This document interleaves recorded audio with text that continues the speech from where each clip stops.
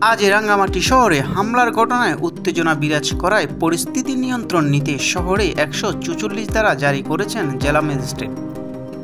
শুক্রবার বিশে সেপ্টেম্বর দুপুর একটার দিকে এই সিদ্ধান্ত নেওয়া হয় বলে নিশ্চিত করেছেন জেলা প্রশাসক মোহাম্মদ মোশাররফ হোসেন খান। এর আগে সকালে জেলা শহরে শত শত পাহাড়ি সন্ত্রাসী দেশি অস্ত্র নিয়ে বনরূপা জামে মসজিদে ও দোকানপাট গড়বাড়িতে আগুন দিয়েছেন। শুক্রবার বিশে সেপ্টেম্বর সকাল দশটার দিকে একদল পাহাড়ি অস্ত্রধারী হঠাৎ করে শহরে বনরূপা এলাকার হামলা চালান। ঘটনাস্থলে পাঁচজন আহত হয়।